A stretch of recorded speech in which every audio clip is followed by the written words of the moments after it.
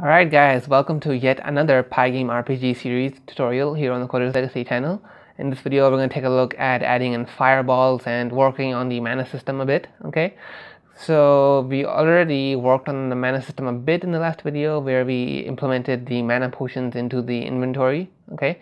But there's still a lot more to go and the mana system, the inventory, and the fireballs by extension won't be completely fixed until the next video okay? So we'll work on the fireballs mainly and if we have some time left over we'll begin implementing a mana bar for our player. And yeah this depends on how much time we have left and how, how much time it really takes to make the fireball okay? So without further ado let's go ahead and make our fireball class. Fireball and uh, .py okay. Now let me open this up and we're going to spend a good 5-10 minutes just coding this thing okay? So import pygame okay? And class fireball. And we'll inherit from pygame.sprite because we'll be using sprite groups with this so we can need to do this. Okay just standard stuff. And what about parameters um, well, let's see. Player. I'm going to pass in the player into the fireball because the fireballs will be created inside the player class. Okay, more on that later. So we'll just pass in the player as well because it's going to be kind of important.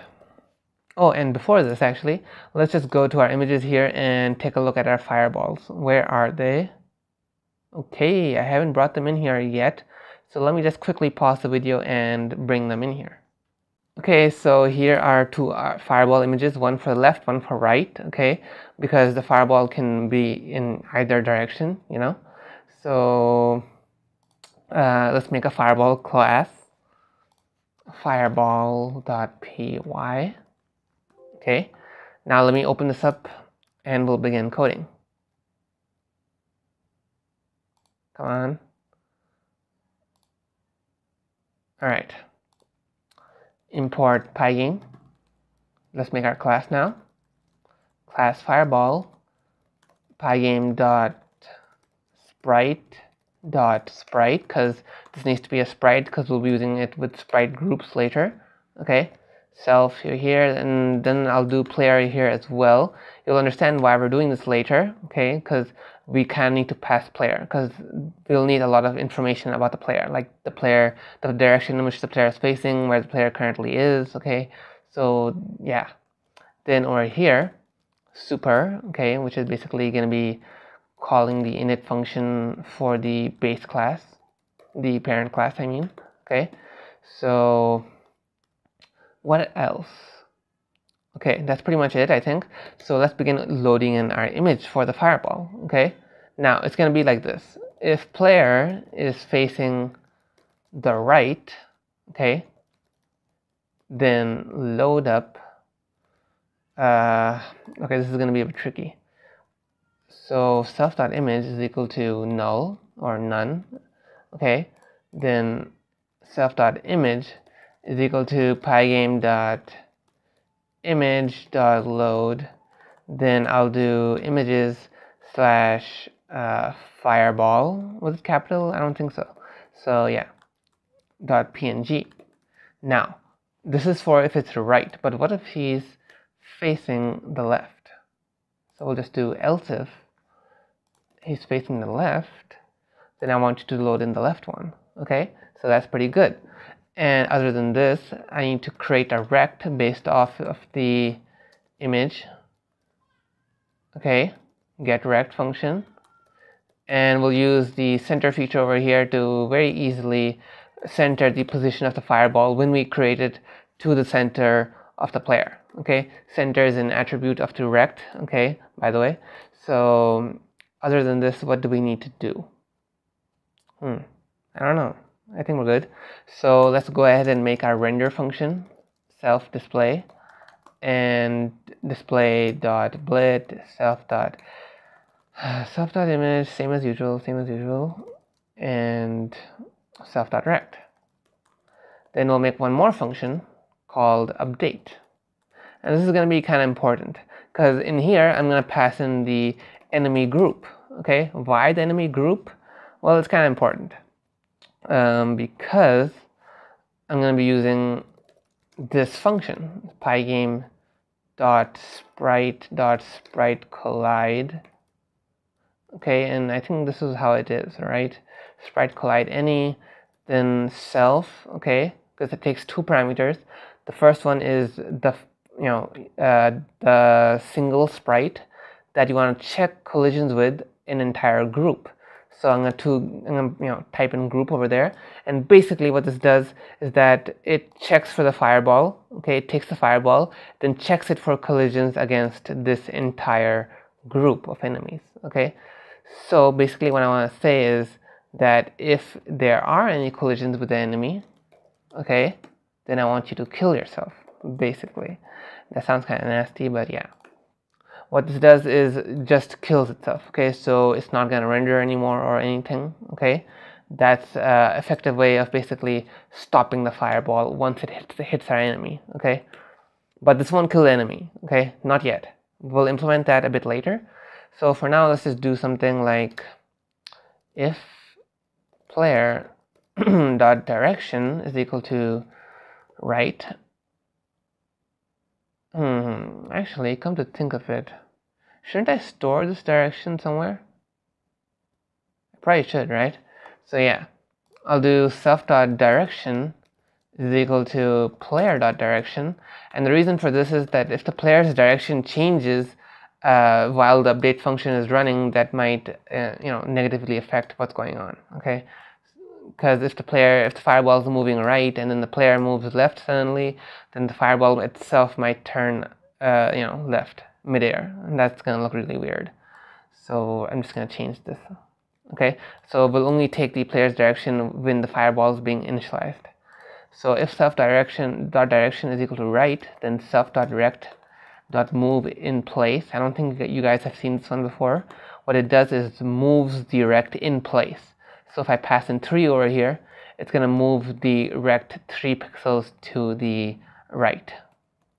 And similarly self dot direction is equal to left.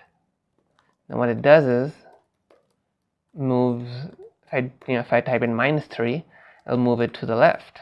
Okay pretty cool. So I think that's about it. So let's go to over to the player class and we'll need to open up our game file as well okay our game files opened and what about the player file? Nope, not open. Why not? Come on. Alright. I'll make a function called fireball. Okay? And over here, I'm to go up first actually. From fireball, import fireball. I'll come back down here and say fireball is equal to uh, fireball okay? And there's one more thing that I need to do actually. I'm passing in a parameter called group over here. And what is this? Just wait a one second. I'm gonna make a new fire, a new group called projectiles okay? Pygame.sprite.group and every single projectile that the player creates will go in here okay? And this is specifically for the player's projectiles by the way. So we could just call this something like player projectiles maybe okay? Because later on if you make enemies who can shoot out stuff because I do have plans for that maybe. So then we'll need to have two separate groups okay? Because the groups will have slightly different interactions. So this one is for the player's projectiles. So what I'll do is that first map a key to the fireball I'll just type in I'll just use M okay M for magic. So player dot fireball okay and I'll pass in the player projectiles group okay? And the point of the player projectiles group is to very easily handle things okay? So I can do four projectiles for projectile in player projectiles projectile dot render okay and projectile dot update pretty handy okay so back to where we were with the player I'll create the fireball then I'll add the fireball into the group okay So, hmm, this looks good so far. Now let's run this code and see what happens. Okay, now let me try firing a fireball. Okay, no. Not defined. Projectiles. Projectiles, okay. Let's run this again. Another error. It's missing the player argument, of course. I'll just pass in self over here okay. Alternatively you could change the parameters and just pass in sub dot direction and the sub dot position okay if you wanted to but I'm just gonna do it this way. If you guys want to change that feel free to. Okay. So oh sorry I ran the wrong file. Let me run the game file now and here we go. Let me fire out the fireball. I'm pressing M. Another error. I'm missing the group parameter. Why did it need the group again? Oh, it needs the enemy group, of course. Um, so we need this group basically. Come here and pass it in. Okay, and let's run this again. And there we go, there's our fireball. Pretty cool, right? And let's go and actually fight some enemies now. Of course, this won't kill them, uh, but we'll get to see it actually hit them and then disappear you know, like killing itself basically. Pretty cool. Okay, so yeah, not bad, not bad. Now, what I want to do actually is make it be, be able to kill the enemies. Okay. Man, this is getting pretty intensive. Our game's getting pretty complex now, actually. We need to make so many changes. But, uh, uh you know, that's kind of part of anything, really. So I'm going to pass in the fireball group in here okay we'll just call this group the player uh, you know the projectiles group for, for the player basically. So I'm gonna go over into our game file and where's our enemy code? Um, the third parameter right? So I'll pass in the player projectiles in here. Uh, I don't really like the way this code is going out of the window so let me just try and compress that a bit. Um, that's about as much as I can do. So back to the enemy. And now that I have the projectiles group here, okay, we'll add in an extra condition over here. If you're colliding with the player or you're colliding with the uh, sprite collide any self and projectiles. Okay, so what I just said here is that if you're colliding with the player or you're colliding with a projectile from the projectiles group, then you know kill yourself basically. Okay, so this is the first time I'm, I'm actually trying to put this inside you know uh, if statement like this. I hope it works out. I hope so. Okay, and let's go over to stage three and Okay. Five were given. Huh. Really? Oh, oh, okay. Um, when is this player collisions thing uh, triggered in? I think it's in the player group maybe. Uh, okay, where's our attack function? Our game's kind of gotten big enough that I'm having trouble remembering where is what. Where is the player collision function called for the enemy? Player collision, uh-huh. Okay, the update function calls player collision. That makes sense, of course. I remember now. Okay, I remember how this happened. Uh, come over here. You go over there. And you you go in there. Okay, we just need to adjust some parameters a bit. Seriously? Okay, back there, comma. And this is this is gonna work. Okay, this one will definitely do it. Here we go. So come on, enemies spawn, fire. There we go, he's dead. Huh. Now, interestingly, the fireball isn't killing itself. I wonder why. Maybe because the enemy is detecting the hit first. Hmm? That would actually make sense. Well, this is a bit of an issue, I guess. Hmm. Let me see. True. Game. I'm just trying something out. If it works out, then uh, I'll explain it. Okay. Bool object is not collidable.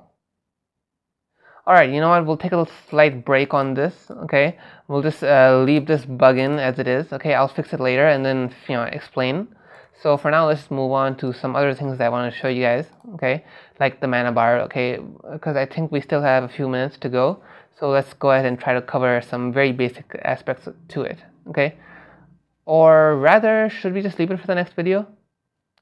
Okay, you know what, we'll leave it for the next video. In the next video, we'll take a look at the mana bar and we'll fix the inventory as well. It'll be a good 15 to 20 minute video where we finally pull together a whole bunch of things. Okay, we'll add in the mana potion item, we'll add in, um, we'll fix a few issues or two that have been popping up recently and we'll take care of a bunch of stuff. Okay, so let's just end it over here. So make sure to subscribe to the channel so you don't miss any future content and uh, of course, leave some feedback. So I'll see you guys in a later video.